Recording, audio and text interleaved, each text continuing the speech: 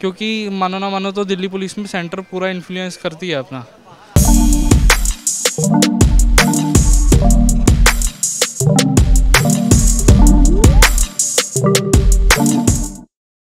Good morning welcome back to my new blog और मैं आशा करता हूँ कि आप सब अच्छे होंगे। सो गाइस कल ब्लॉग इसलिए नहीं आया क्योंकि मेरी तबीयत ख़राब थी, क्योंकि एक तो बारिश में भी भीग गया था और कूलर चला के सो गया था, उससे मेरी तबीयत बहुत ज़्यादा ख़राब हो गई थी कल। अब थोड़ी सी ठीक है।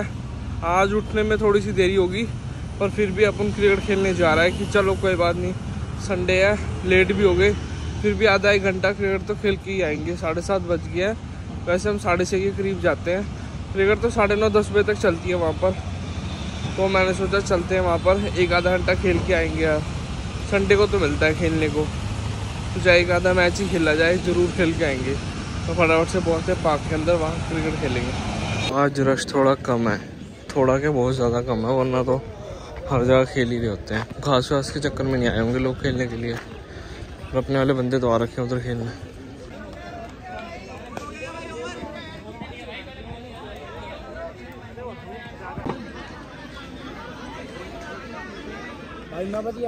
हम्म? इसी बहाने मैं क्रिकेट खेलने आता हूँ कि ये मिलेगा मुझे खाने को। और पूरे वीक में कहीं नहीं मिलता ये खाने को, ऐसा खस्ता कचोरी वाला हिसाब किताब। चलो मैं इसको एंजॉय कर लूँ, फिर फिर आगे क्रिकेट खेलना कंटिन्यू करते हैं। गाइस क्रिकेट तो खेल लिया और एक ही मैच खेला गया, क्योंकि मैं बहुत लेट आया था, तकरीबन साढ़े आठ, पौने नौ पहुँचा हूँ यहाँ पर। और अभी पौने दस हो रहे हैं तो एक ही मैच खेला गया और कचौरी खा ली। मतलब शायद मेन रीज़न मेरे आने का कचौरी का ही है कि क्रिकेट खेल लूँगा और ब्रेकफास्ट भी वहाँ बढ़िया हो जाता है, फिर कचौरी खा लो, बस बीस रुपये की आती है, पेट फुल हो जाता है।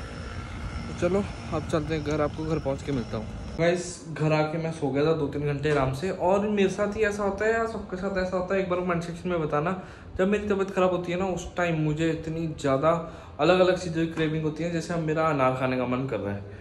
अब लेने चलते हैं अनार। हल कभी कभी धूप हो रही है बाहर कभी छाया हो रही है पर चलते हैं अनार। पास में फ्रूट मार्केट है तो अनार लेके आते हैं और आज लंच में अनार खाएँगे। अनार तो ले लिए भाई एक किलो मैंने।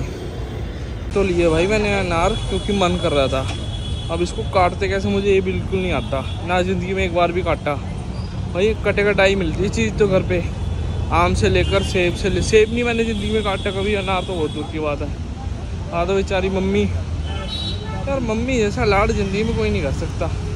सब चीज़ बैठे बैठाए, बर्तन भी बैठ वैसे अपने आप ही चले जाते थे, कभी गोरी नहीं करा। यहाँ पर खुद धोने पड़ते हैं। पर वो तो चलो बात की बात है। अब अनार कैसे काटना है पहले ये पूछूँगा मम्मी से फिर काटूँगा फिर खाऊँगा मस्त।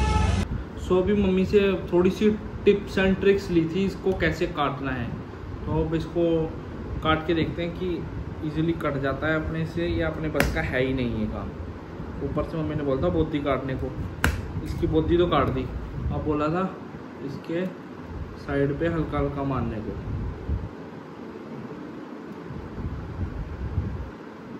मार लेते हैं। क्योंकि मम्मी के तो एक्सपर्ट एडवाइस वाला हाल है। जैसे मम्मी बोले, वैसा कर दो और काम एकदम परफेक्ट होता है। देखते हैं इस बार भी वैसा ही होता है। हाँ भाई हाँ हो गया सिस्टम पूरा खुल गया नार ऐसा ही बोला मम्मी ने। अब इसका फटाफट खा लेता हूँ कि भूख भी लग रही है। फटाफट से काट लेता हूँ पहले, उसके बाद खाऊँ ऐसा खुल गया। अब इसको एक एक दाना निकालना पड़ेगा इसका।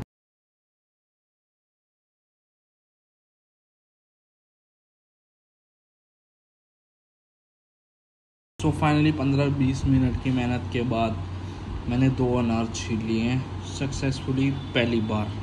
सामने आ जाए ना चीज़ें से छिलके दो तो आसान लगती है भाई, मुझे पता है कितना मुश्किल है। फिर उसके वाइट वाइट वाले वो जो है, इसका स्टिकर से वो निकालने बहुत मुश्किल है इसके। पर फिर भी एक और चीज़ जो मैंने ज़िंदगी में पहली बार करी है अनार छील लिया मैंने। वाह वाह वाह। और मैं अनार खाऊँ उसके बाद आपको एक इंटरेस्टिंग बात बताता हूँ, जिसके लिए मैंने ये वाला ब्लॉग स्टार्ट करा है।